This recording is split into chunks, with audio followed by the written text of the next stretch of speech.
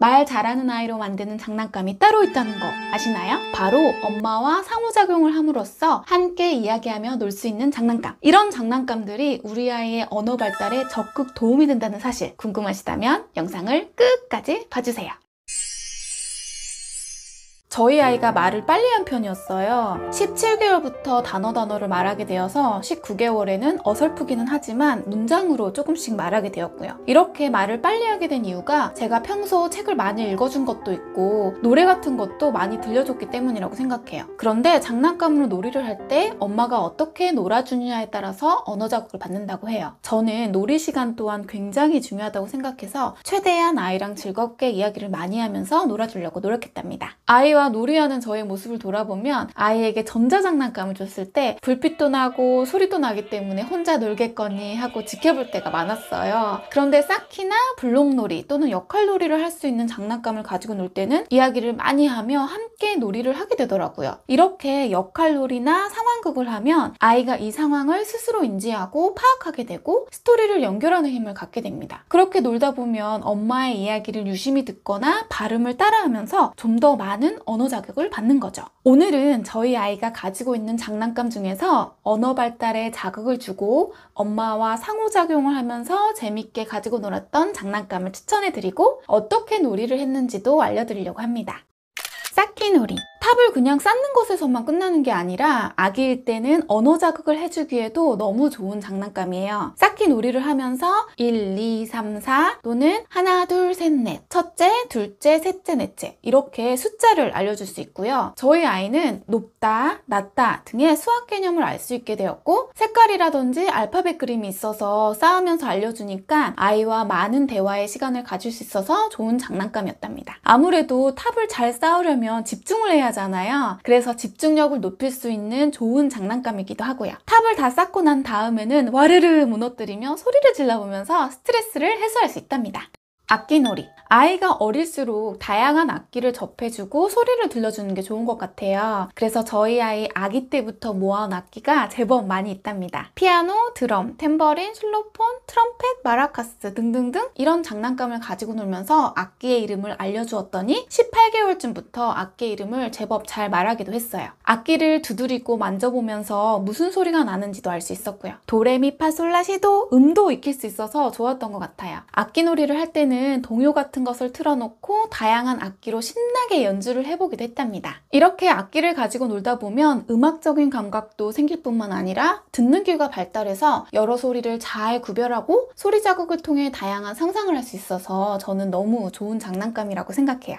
소꿉놀이와 과일 자르기. 아이가 실생활에서 늘 마주치는 소재인 주방용품의 도구 이름을 익힐 수 있어서 좋아요. 수저, 포크, 접시, 냄비 같은 것들을 엄마가 자주 놀이를 하면서 이름을 알려줬다면 금방 말할 수 있겠죠. 엄마와 함께 요리를 만들면서 상황극도 할 수 있고요. 또 과일 자르기를 통해서 과일과 야채 이름도 익히고 동시에 모양과 생김새를 알 수 있어서 저절로 말이 늘 수밖에 없는 장난감입니다.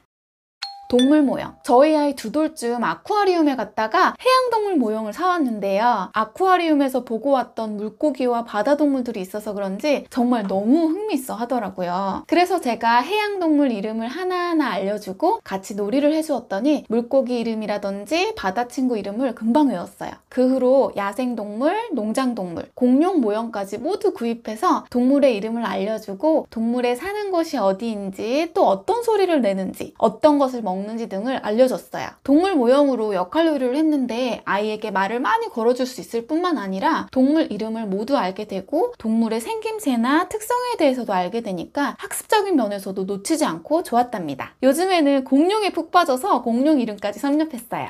공놀이, 공으로 굴리기, 던지기, 받기, 튕겨보기 등을 하면서 엄마가 동작의 이름을 알려줄 수 있어서 좋았던 것 같아요. 남아들 같은 경우에는 축구공, 농구공, 배구공, 야구공 등의 공의 종류를 알 수 있어서 특히 더 좋아하더라고요. 아무래도 혼자 놀기보단 두 명이나 세 명이 함께 놀아야 더 재밌기 때문에 온 가족이 함께 놀면서 많이 이야기할 수 있어서 상호작용을 하고 언어 자극을 많이 받는 놀이입니다. 무엇보다 공놀이를 하다 보면 너무 신나죠. 만약 아기가 너무 어리다면 풍선으로 천천히 해보는 방법도 있어요. 블록놀이. 블록을 쌓으려면 우선 인내심과 집중력이 정말 많이 필요한데요. 아이가 너무 어릴 때에는 블록에 그려진 그림을 보여주거나 색깔을 알려주기 등으로 시작해 이야기를 만들어 볼 수 있어요. 탑쌓기와 동일하게 적용해서 놀아주면 좋고요. 그리고 아이가 성장해가면서 스스로 블록 조작이 가능하면 기차라던가 집 아니면 자동차를 만들어 상황극을 해볼 수 있고요. 저희 아이 같은 경우에는 요즘 공룡을 좋아해서 티라노사우루스라든지 브라키오사우루스를 블록으로 만들어 저와 함께 공룡마을 상황극을 하면서 놀고 있답니다. 3세까지는 블록 크기가 큰 것이 좋고 던져도 아프지 않는 소프트 블록을 추천하고요. 4세 이후에는 레고나 과학 블록, 자석으로 된 블록을 추천해요. 블록은 여러 가지를 다양하게 상상할 수 있기도 하고 본인이 만든 작품으로 이야기를 만들어 갈 수 있기 때문에 상상력이 자라는 데에도 큰 도움이 된다고 생각해서 저는 블록을 꼭 추천합니다. 이렇게 장난감을 가지고 놀 때 그냥 가지고 놀라고 주기보다는 옆에서 엄마가 한 번 더 언어 자극이 될 수 있도록 이름을 알려주고 물어보고 이야기를 만들어 나가준다면 언어 자극뿐만 아니라 엄마와의 애착 형성에서도 좋을 거고 많은 상상을 하기 때문에 상상력도 쑥쑥 커가겠지요. 아이와 함께 놀 때에는 최대한 놀이에 집중할 수 있게 엄마는 핸드폰을 내려놔 주시고요. TV는 끄고 잔잔한 클래식이나 동요 음악을 틀어 주어서 놀이에 집중할 수 있게 해 주면 더 좋아요. 여러 개의 장난감이 아닌 한두 개만 꺼내놓고 놀게 하면 집중력이 높아진답니다. 놀고 난 후에는 정리정돈까지 같이 하면 정리 습관이 들어서 좋아요. 오늘은 이렇게 장난감을 통해 아이가 말을 잘 할 수 있게 노는 방법과 장난감까지 소개해드렸어요. 다음 영상에서는 창의성을 길러주고 소근육 발달을 할 수 있는 미술놀이, 촉감놀이에 대해서 알려드릴까 합니다. 저의 영상이 도움이 되셨다면 좋아요와 구독을 눌러주시고 가치 있는 육아, 올바른 육아를 할 수 있게 더 좋은 컨텐츠를 가지고 올게요. 지금까지 은실쌤이었습니다.